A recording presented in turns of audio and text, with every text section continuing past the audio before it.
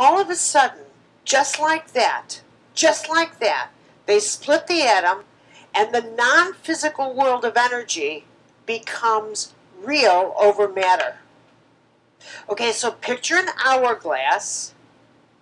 and in one second, the hourglass gets reversed, and everything humanity had believed goes upside down. I want you to think that in that second, you went from being in the world of flatlanders to popping out and living in a hologram. And a whole new set of rules was instantly put on because up until that time, we believed we had five senses, that matter came before energy, that time moved in this linear way